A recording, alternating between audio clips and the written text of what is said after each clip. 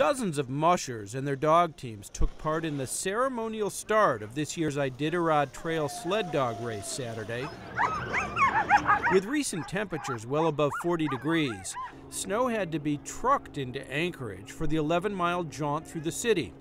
This year's weather had organizers thinking about moving the official starting point to Fairbanks, but conditions improved, so it'll start in Willow, Alaska, the typical starting point, 50 miles north of Anchorage.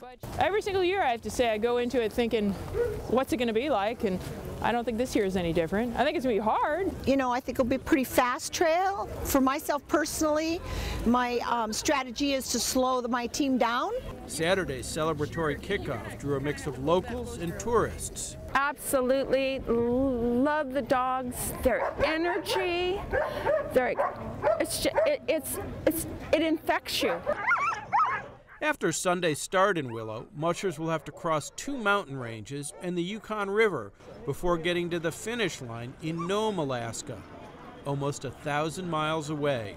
Ned Barker, Associated Press.